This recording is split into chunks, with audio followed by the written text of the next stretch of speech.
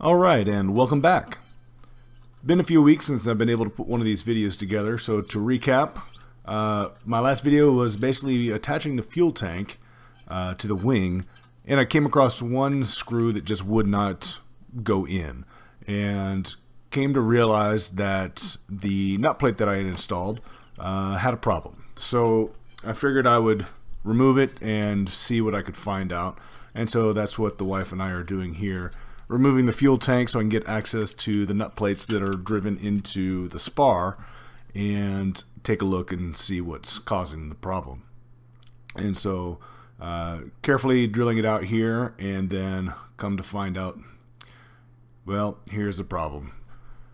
Trying to get the camera to show into the innards of that uh, uh, nut plate there, but there are no threads whatsoever on the inside of that nut plate and that's why the screw just would not go into that hole. Um, so again I was trying to get the camera to show it it just it wouldn't show up very well so you may or may not have been able to tell. So went through and found a replacement and this is what it's supposed to look like and again the camera doesn't pick it up very well but there are threads inside there that you can barely make out. So just a matter of installing the new nut plate and then reattaching the fuel tank in its place where it's supposed to go. So this is, uh, as I'm making this video, this is uh, December 28th, so uh, Merry late Christmas to everybody. Happy holidays. Hope you guys had a good uh, holiday and uh, good plans for the New Year's coming up.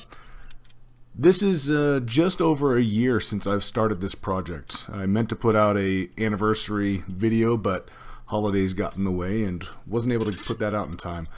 So to this date, I've assembled the empennage kit. Uh, it's about 90% complete. I still have the fairings and some small things to do.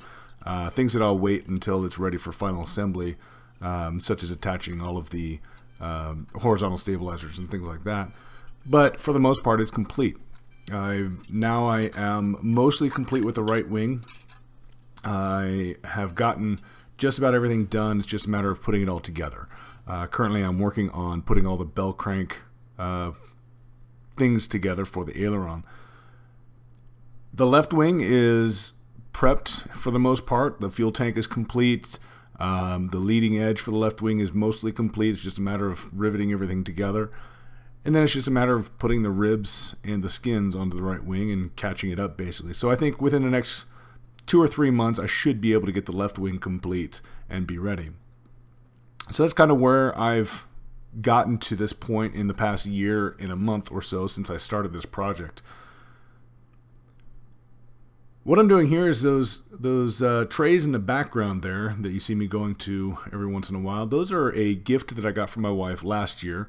Um, and I've not really used them until now. So I decided it's about time to organize all of my uh, tool or my, my parts, my hardware and things like that so that I don't lose them anymore. There's been a couple instances where I just can't find things. So I finally was able to put those in. And here you see me finally starting to work on the bell crank assembly. Um, assemble the uh, aileron and put it in place onto the wing and it went on fairly well. It's just a matter of trying to find. They have a, a washer wrench, for lack of a better term, that I've purchased. I wasn't able to find it, so it made it for a little bit of a difficult effort trying to put these washers in place. But put the aileron in place, and then start working on all of the aileron bell crank assembly and the and the torque tubes and all of the mechanisms that go into operating the ailerons from the control stick.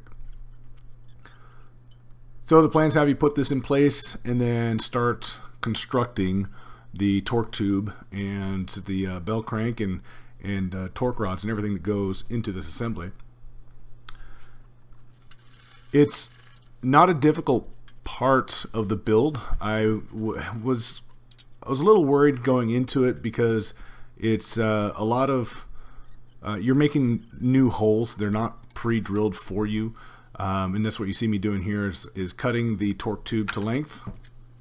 And then once you get that cut, you'll start lining up all of the end pieces and then drilling holes. And uh, again, none of this is pre-drilled. You have to create all of these holes yourself.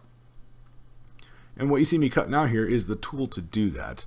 Um, I was trying to get a picture so I could insert it into this video to show what I'm talking to, but uh, basically it's it's a strip of paper with targets. There's six different targets along the paper. And you line it up so that one edge is flush with the end of the torque tube, and then you tape it in place. And then you get a center punch and make a, a mark at the center of each of those six targets, and that's where you're going to drill your holes.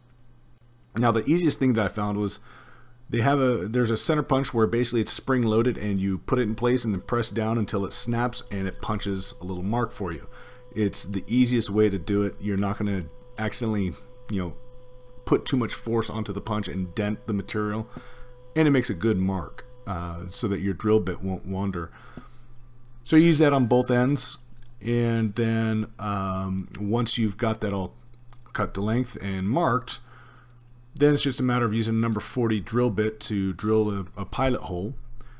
And then you insert the rod ends into each side of the torque tube and create the torque tube assembly.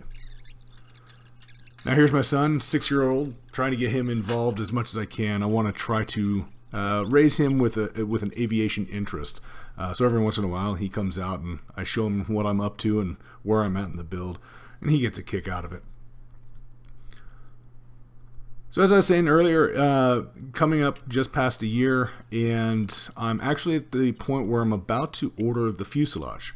Uh, when I spoke to Van's, they said it was about a 10 week lead time at the moment for fuselage kits. So I figure if I put the order in now, um, about the second week of January, I should get the fuselage kit by the end of March. And if that's the case, then I should be complete with the wings at that point and essentially be ready to work on the fuselage. So looking forward to doing that, getting it all set up, and then, uh, like I said, it, will be basically right in line with my timeline and uh, won't be any major delay. So initially I thought it was going to take five years to put this all together, but in reality it might only take me three years. Um, the biggest challenge is going to be cash flowing an engine, which right now is right around $30,000. So we'll see if we get that worked out.